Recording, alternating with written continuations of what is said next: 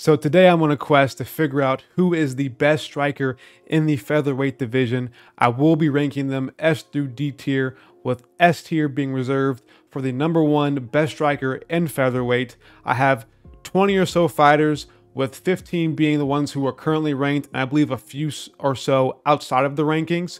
They're all outside the screen right now. I'm doing this MMA guru style, so let's not waste any more time and let's get it going. Starting off with, we have Nathaniel Wood. Now, this is a tough one off the rip. Nathaniel Wood is a really good leg kicker, and he he embarrassed Charles Jourdain. You know, and Charles Jourdain had a great performance against Shane Burgos, striking wise. He was piecing up Shane Burgos, and then Shane Burgos had to grapple to beat him, and then Nathaniel Wood basically comes out and just whoops on Charles Jourdain in the pocket, leg kicks and everything. He embarrassed, I believe, wasn't Erosa. It was uh the other other Erosa, but it's like I forget his name. I'm blanking on his name real quick, but he wasn't very good. Leg kicked him to death. I think he has really good potential, really far. He, he can go very far in the division, but I think I can't rate him too highly because he hasn't fought any of the top prospects, or not prospects, but top fighters at featherweight just yet. So I'm going to go ahead and put him B tier solely on potential and what I see in the future of Nathaniel Wood. B tier it is. I think he can definitely be an A tier in the future with his style. A former featherweight, I mean, a former bantamweight. So I do see him going pretty far in the division. He eventually will hit the rankings. But for right now, I just have to have put him at B tier because he's lacking that strength of schedule, so to speak. Moving on up next, we're going to go ahead and grab from the top here. We got Josh Emmett. Oh, Josh Emmett, definitely a B tier for me as well. I'll have him ahead of Nathaniel Wood for now, but he's definitely a B tier fighter. Um, got embarrassed by Yair Rodriguez. Definitely got embarrassed by him. He was losing to Calvin Kattar, in my opinion. I think he kind of fooled the judges in that decision with the way he was landing on the guard. So I do have Josh Emmett at B tier here. I think he's just lagging that extra. But he does have some great highlight reel KOs. He is very powerful. He is a good striker. I think he would probably piece up Nathaniel Wood. No, I don't know about that. Maybe not. I think that'd be a good fight. But I do think he is he has a better resume, obviously, than Nathaniel Wood. And a lot of fighters that will have below in the C and D tier. So I will stick with him at the B tier for now. He just needs to. I feel like he just doesn't have that that extraness, you know, that extra grit that some of the top fighters have at featherweight. Moving on, we're gonna go ahead and go with Ryan Hall. Damn it, S tier. It's like I'm just kidding. 100% D tier. Ryan Hall. I think there's no debate about this one. He's a D tier fighter. He has no hands whatsoever. I thought it'd be funny just to put him even in here. Pure jiu-jitsu guy. He's a disgrace to the sport. He has no hands. He just basically is a roly-poly in the octagon for 15 minutes. He has good kicks though. He is decent. I think like spinning kicks, but that's really it. His striking is below mediocre. It's below average 100% for sure. I just wish some of these guys, these pure jiu-jitsu guys, would get their striking game up. You know, you see a you see an Ortega, who I will have later in the video. You see a, an Oliveira. You know, they use striking in to, as a way to, you know, as a complement to their jiu-jitsu game, which is their main thing. And I just some of these pure, pure jiu-jitsu guys like like Ryan Hall and Claudio Puelles and Kron Gracie just don't have that, and it's just embarrassing to the sport. But Ryan Hall, D tier, I think that one's pretty clear. Not a good striker at all at featherweight. Moving on to the next one, we have Max Holloway. A tier, easy A tier. This one's pretty straightforward. Not S tier though. I think we know why he's not S tier, but we'll get that get into that later. But Max Holloway, he pretty much is the clear consensus number two at featherweight. He embarrasses anybody who is not on his level. He beats anybody who's a prospect who wants to have a name. Beat Arnold Allen, beat Yair Rodriguez, ah, beat a lot of these guys he's just Max Holloway. You know, his technique is good. He has great boxing, great spinning back kicks. he needs to work on his leg kick game. That's really about it. But otherwise, he's probably one of the better boxers in the UFC. We all know that fight he had against Calvin Kattar. The best boxer in the UFC, baby. Moving on.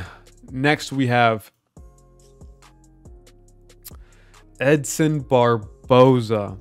Now, this one's also a pretty tricky one because old Barboza is A tier easily, but current Barboza, I don't know. Obviously, you know Barboza is one of the best leg kickers in the game. Former lightweight. I think I have to put him at B tier. I'm thinking about putting him at C tier because I don't know. But he just beat Billy Quarantillo by knee. He's just one of those good strikers, man. I have to put him there. I think just pure striking wise, you could probably put him A tier as well. Like he's kind of like right here, pure striking wise. But I think since he's gotten older and since he's moved down to featherweight, I think I have to put him at B tier. Obviously, I'm, I'm gonna put Nathaniel Wood behind him because I don't think Nathaniel Wood is quite there to the Edson Barboza level. He could be very similar games, leg kick wise. But I think Barboza is a, is a nice B tier for me. Still a great striker, still doing the damn thing, but I think he's just kind of running out of time. Father Time's catching up to him. Moving on, up next we have Bryce Mitchell. And also a really tricky one. Bryce Mitchell is going to go. He could be a C tier fighter, man. He could genuinely be C tier, but I don't know. I'm going deep. Ah, he's better than Ryan Hall, though. That's for sure. I think I have to put him D tier. He's just not a striker. He's a grappler. Just not a striker. He's a grappler. He does have some good hands. He did beat Barboza. He did drop Barboza. I think I think dropping Barboza puts him C tier. I just I think I just have to. But then again, like the only reason he dropped Barboza because of the threat of the takedown. So that's a big deal in that. His takedowns are a huge part of his game. His grappling is a huge part of his game. But I think if you can drop Barboza on the feet and do, I wouldn't even say well against Ilya Topuria. He got he got pretty badly brutalized by him. But I think he did, he didn't get totally embarrassed. Like he got embarrassed, but not, you know, shameful embarrassed. I think there is a possibility of him improving his game, his striking game. But grappling is definitely his main game. Striking wise, I think I just have to put him C tier. Strictly because he dropped Barboza. That's really all I have really for him. Moving on, up next, we're to go with, let me find somebody real quick. Here we go, right here. Brian Ortega. Oh. Oh. Striking wise, I need to put. I'm putting Ortega C tier. This is a hot take. This is a hot take. I think Ortega is a C tier fighter, striking wise, not not fighter. Striking, just pure striking. Ortega is definitely a C tier fighter. He got embarrassed by Volkanovski. People in general have a misconception about that Volk fight that it was close. Outside of round three, when Volk got that guillotine, that's that mounted guillotine, it wasn't a close fight. Volk was piecing on the feet. Volk was pretty clearly schooling Ortega on the feet. And then Max Holloway basically broke him down and made him quit. That's really all it is. And I think when you get shown levels at this point, it's just, I don't think he's that good of a striker. And then Yair Rodriguez as well, putting it on him as well. I think he was easily winning that first round striking, Yair Rodriguez was. And I think Ortega just isn't there. His jiu-jitsu is very good. It's very, very good jiu-jitsu. Obviously one of the best in the UFC so far. You might even have the best in the UFC. But I think that helps him with his striking game. And I think when you get shown levels by Max Holloway and Volk, and you were losing to Yair pretty clearly in that first round, I think his striking is definitely lacking. Definitely, definitely lacking. I think he definitely is a better, a better striker than Bryce Mitchell. You can probably put him. No, honestly, I'm gonna say he's like in the middle, in the middle between B and C tier. That's my final answer. He's right in the middle. Of, he's right in the middle of B and C tier. I just think that he has a little bit more to be desired in terms of striking and stuff like that. I I just don't know. Yeah, actually, it's I don't know, bro. It's, it's a hard one for Brian Ortega for me. I'll put him as a as a B minus. We'll do that. We'll do a B minus for Brian Ortega here. Moving on. Next, we have Alex Caceres.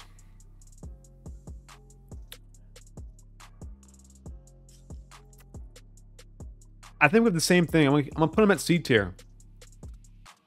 I'm gonna put him at C tier for now. You might be able to convince me D tier. I mean, that's Bryce Mitchell. My bad. You might be able to convince me D tier, but I think I think C tier is pretty clear. Another good. He's pretty. He's pretty tricky on the feet. He's a good matchup, you know, for a lot of fighters because, or a bad matchup for a lot of fighters because of how tricky he is on the feet. I will put him at C tier. He was getting pieced up pretty bad by, was it uh Seungwoo Choi? He was getting pieced up pretty badly by him as well on the feet until he got that that submission. So, and Seungwoo Choi is you know, a national, I think Muay Thai champion, Japanese Muay Thai champion, something like that, or no Korean, Korean Muay Thai champion. But he get, but we see him lose to people like Mike Trizano. So I have to put him at C tier, bro. I think maybe even D tier would be nice for him. Oh, it's it's C tier for me. I'm gonna, I'm gonna put him at C tier. He's in the rankings. He's top 15. C tier for Alex Caceres. So we're doing with him. Moving on, up next we have the Korean Zombie. the Korean Zombie, I'm gonna put him C plus. C plus for Korean Zombie, maybe B. It's just right now in his game. If you asked me years ago, I would say Korean Zombie is definitely A tier but now I have to put him kind of at B tier. Brian Tech is B tier, and then we'll do Korean Zombie. It's like C plus, B minus. How about that? How about that? that? That one looks fair to me. But we'll do that. We'll do that. We'll do that. Dude, I'm having like a just a heart attack trying to do this. But just getting shown, like he wasn't just shown levels against Volk, the Korean Zombie. He was shown he didn't belong in the division anymore that was probably one of the few fights or one of the only fights where I was visibly cringing about how bad he's getting his ass beat. That fight made me not want to watch MMA for like a whole week because he got his ass beat so bad by Volk. And that tells me he's aging. His last fight before the Volk fight, I think it was against Dan Ige, and he really didn't do much besides grapple. You know, he, it was more of a grappling fight. He had the body triangle locked in for a good period of time. He was more so doing more grappling than he, he's ever been hopefully, I think he has time. I, I don't know. Like, I don't think he he's retiring soon. He doesn't have much time, but I think he's pretty much at this point. The Korean Zombie is pretty pretty down bad, and I have to put him at put him at in between B and C tier. I think he's at a at that B minus stage of his career. If you asked me earlier, again, he would definitely be higher, but I think that Volk fight tells me a lot about how he is striking wise in his career. Volk is that good too, but I think that he's just not there striking wise as of today. He's aging rapidly. He's retiring soon. That's just the Korean zombie. Moving on to the right side here, we have Jack Shore. Now, Jack Shore is a former bantamweight, moved up to featherweight. I wish he would get rid of that extra fat he has on him and just put some some size to him. But he's a pretty basic striker in my opinion. I think he's pretty I wouldn't say mid, but I think he's just very simple. His style is very, very simple. Let me move people over real quick so I can get more room. But I think his style is very, very simple. And I think B tier would be good. Like I think he would piece I think he was I think he would beat Bryce Mitchell. I think he would stuff his takedowns and then piece him up on the feet. I think he would avoid Alex Caceres Caceres' awkwardness and beat him on the feet as well. So I think I could put him at B tier pretty confidently. But then again, he doesn't have a good resume as well. Resume is not there. He lost to Ricky Simone. I forget who he just beat. He just beat somebody at at featherweight, but it wasn't like a crazy good win. he probably shouldn't even be in here to be honest, because he's just not there yet. I'm gonna put him at B tier just for the pure potential. Even though his style is very simple, I think he could be a little bit more there. His grappling is also very well. He does, does a very good grappling, but I think he has a little bit more to be desired in the striking game. Dude, it just feels bad putting Barboza here with Jack Shore. I just can't do that. I'll put C tier. I'll put him at C tier. I just can't have Barboza and Jack Shore being in the same category as of right now. Just can't have it. Just cannot have it. Can't have it. But we're gonna move on. Jack Shore C tier. I think that's pretty certified. Up next, we have Giga Chikadze. I'm gonna put Giga Chikadze at put him as well at B tier. Now, before the Kattar fight, I would have had him at A tier. Believe me, he would have been an A tier fighter striking wise.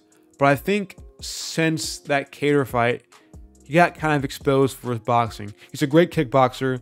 That's what his background is in. But after the Kattar fight, I just don't know. Like he has good finishing potential. I think he would. I I think he would beat the Korean Zombie on the feet, and so I have to kind of rate him over that. I have to put him at least B tier I think he can beat Korean Zombie on the feet. And the loss to Kattar, kind of, it's not stinky. It's not a bad loss by any means, but I think that really exposed some of his fundamental, bo- not only fundamental boxing, but I think his boxing isn't quite there yet, even though Kattar is a great boxer. It's just not there just yet. B tier it is. If he beat Kattar, he would be A tier for sure, but that didn't happen. He kind of got, I wouldn't say smoked, but he got beat up pretty bad in that fight. Clearly lost to Kattar. So B tier it is. Moving on, up next, we're going to go with Dan Ige. Yeah, Dan is a good C tier. I would pick Giga to body kick TKO him. Dan Ige just doesn't have that great, awesome striking. You know, Josh Emmett was able to beat him on the feet. Josh Emmett dropped him, but he did do pretty well against Josh Emmett. Like he didn't do actually bad at all. What was his last fight, real quick? I mean, he KO'd Gavin Tucker. He just KO'd Damon Jackson. He just KO'd Damon Jackson. I just don't rate him too highly. I think if he fought anybody in the top 10, he would lose. I think if he fought a Barboza, he would lose. I think if he fought Nathaniel Wood, he would lose. For Ortega Giga, he lost. He already lost to Korean Zombie. Emmett, I think he, he loses all his fights, especially Holloway. I think he loses the majority of those fights. But is he better than anybody at C tier? I think I would pick Jack Shore to beat him. Caceres, maybe not. Maybe not. Caceres is like at the bottom of C tier. So is so is uh I think yeah. I'll put Ige at the top of C tier. Jack Shore right next to him. Then uh Bryce Mitchell and Alex Caceres. That's what I'll do. Danny Ige C tier. He just doesn't have those good wins, and whenever he does strike against top tier opponents, he does seem to lose and get outstruck by them. So Danny Ige C tier it is. Moving on, up next we have Calvin Kattar.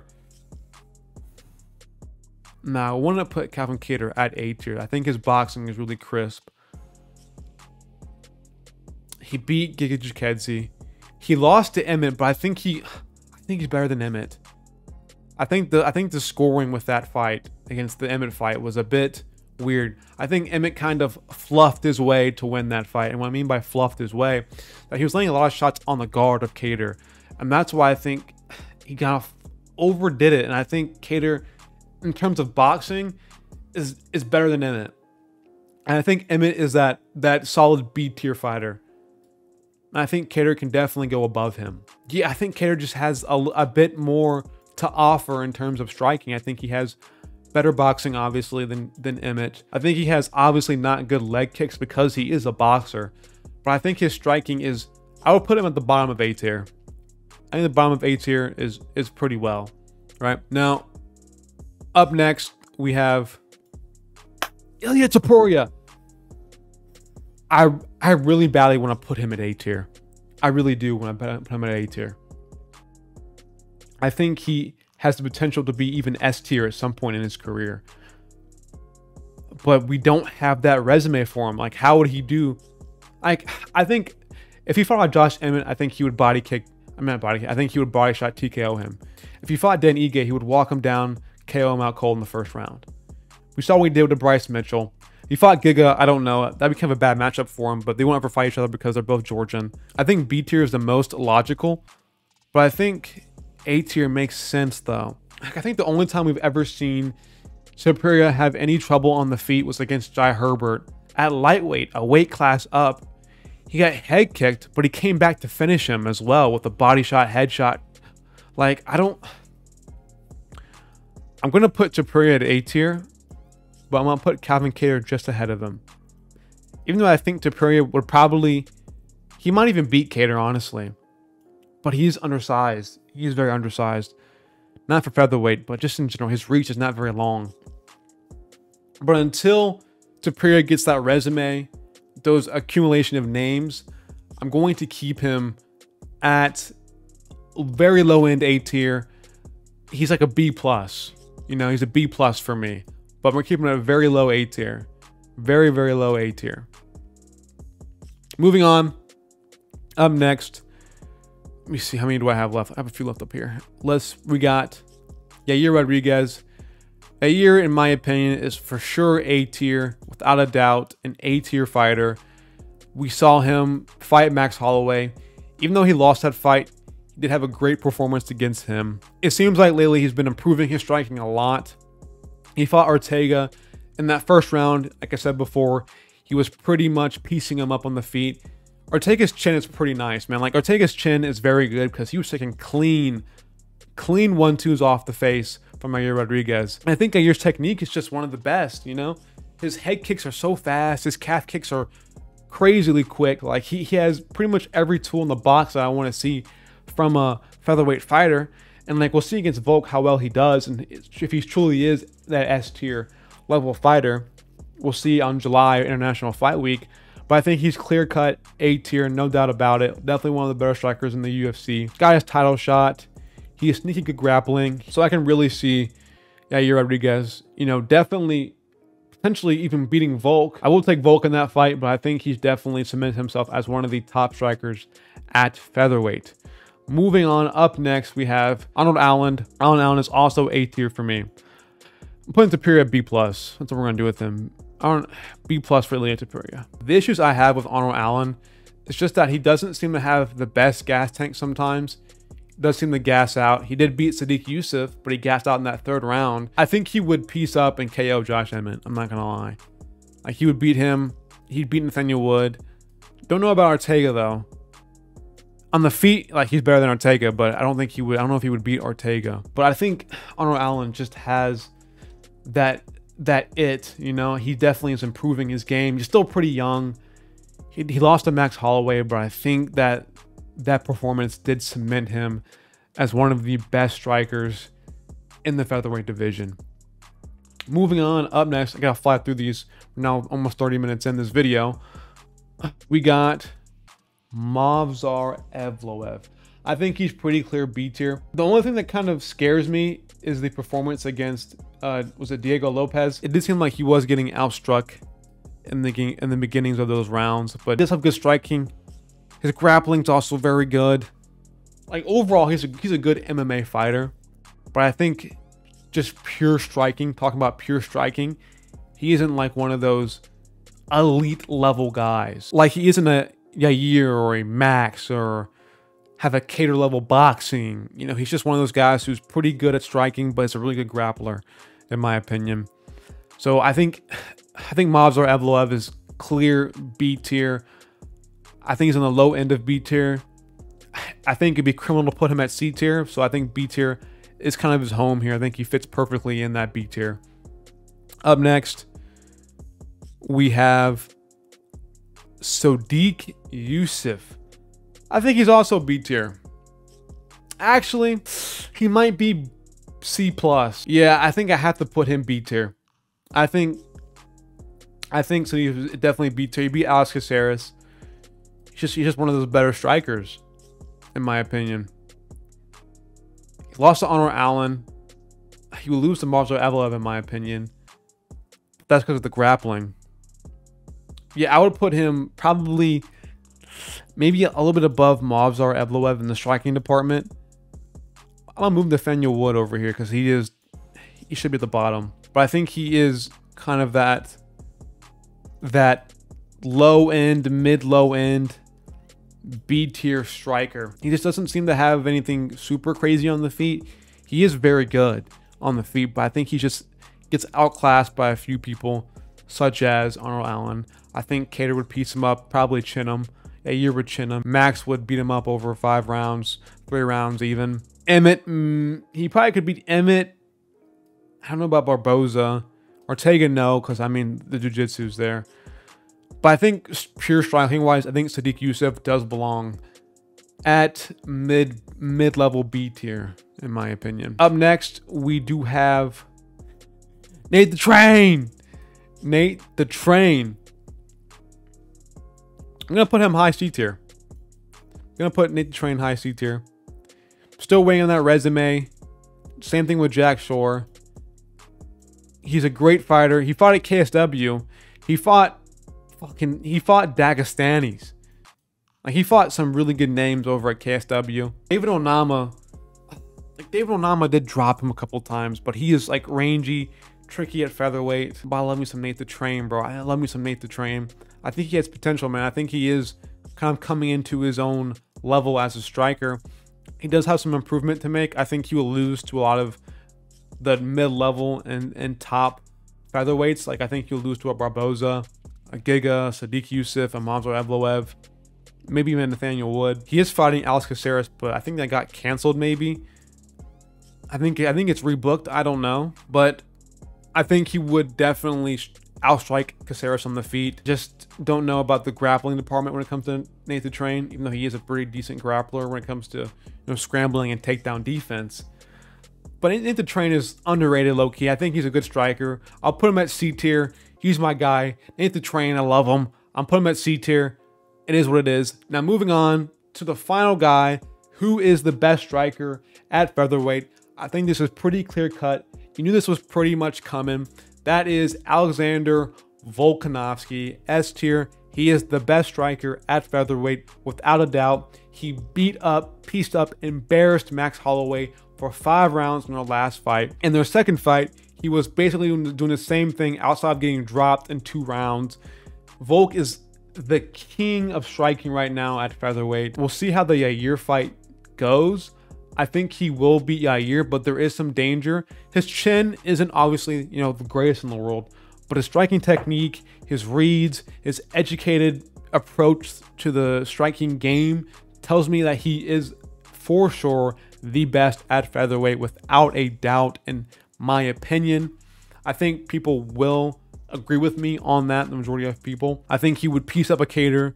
I think he would piece up uh, an Allen. Allen may have a chance of beating him, of chinning him, but I think in terms of just pure technique, he would beat Arnold Allen. And Ortega fight, like he, he pieced up Ortega for five rounds. I think he is without a doubt, in terms of striking, the best striker at featherweight, maybe in the whole UFC. I don't know. I might do another video on that, do another tier list about the best striker in the UFC. But Volk has my vote for being the best striker at featherweight. Thank you. And now, if you enjoyed this video, make sure to like and subscribe. I will be doing more tier lists in the future, especially with the upcoming break in the cards.